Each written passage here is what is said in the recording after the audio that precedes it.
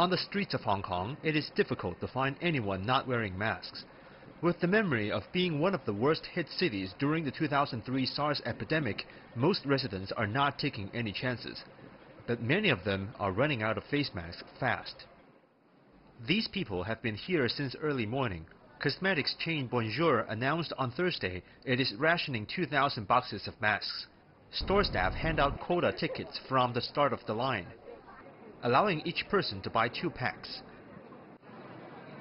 but many are leaving empty-handed.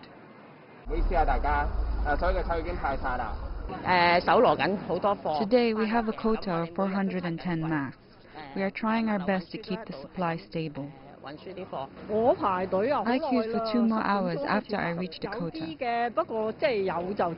Hong Kong's Chief Secretary Matthew Cheung Kin Chung said over 32 million masks are being shipped to the city and other officials have said that the government is sourcing masks from over 140 suppliers in about 10 countries.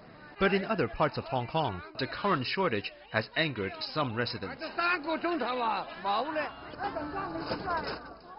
Adding to the concerns over public health, a medical worker union is threatening to strike next Monday unless the government completely shuts down the border with the Chinese mainland. It's a request Chief Executive Carrie Lam denied, citing advice given by the World Health Organization for the decision.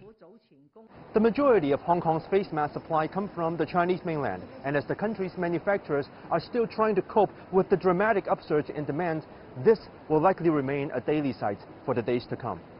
Yang Chengxu, CGTN, Hong Kong.